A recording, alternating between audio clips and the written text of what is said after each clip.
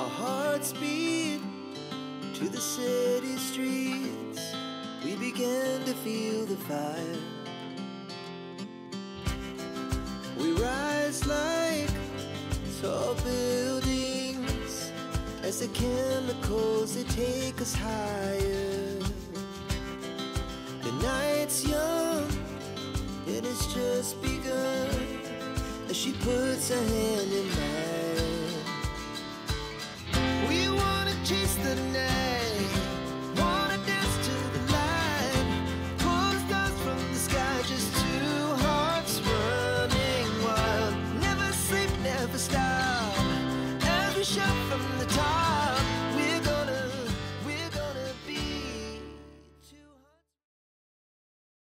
はい。ミスマガジンの受賞きっかけで、ミスマガジン受賞から1年経って、やっと発売っていうことで、すごい受賞して嬉しかった気持ちと、あと、その、やっと写真集発売できるっていう気持ちですごく嬉しいです。えっと、セブ島の離島で、ジンベエザメウォッチングをしたんですけど、そのジンベエザメウォッチングがすごい印象的でした。あの、ジンベエザメウォッチングしたいって言って、あのフィリピンで何したいですかって聞かれたので、ジンベエザメウォッチングしたいですって言ったんですけど、その写真で見たジンベエザメウォッチングはすごく、なんか幻想的で、お魚かわいいみたいな感じだったんですけど、実際にジンベエザメウォッチング行ってみると、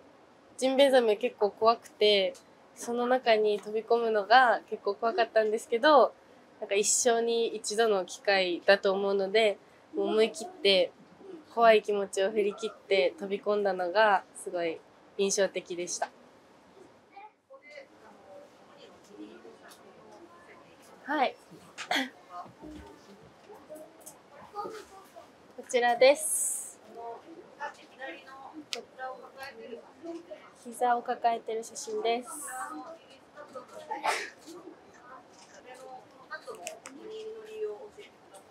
はい。このカットは宮崎の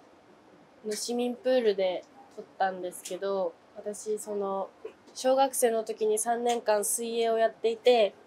その水泳やってたので、なんかその、水着のプールでの写真撮りたいなって思ってたので、それが嬉しかったのと結構、これは自分的になんか小学生の時に戻ったような幼い顔をしてるなって思って、光加減とかもすごく綺麗で好きなカットです。はい。テーマは、えっと、この写真集が高校卒業前と高校卒業後に撮っている写真集なので、その髪の毛が短い時は高校卒業後で、長い時はまだ高校生の状態なんですけど、なのでその、まだ高校生の状態の子供の私、子供な幼い私と、その18歳になって、これから大人になるぞっていう、その、大人になるぞっていう私の2種類が入ってます。はい。写真集は、その私今上京していて、家族には一番最初に見せてなかったんですけど、その、メッセージで、で、こういうのができましたってこう、お父さんとお母さんに動画で送りました。えーなんか、可愛いもちろん可愛いし、お父さんお母さんも嬉しいって言ってたけど、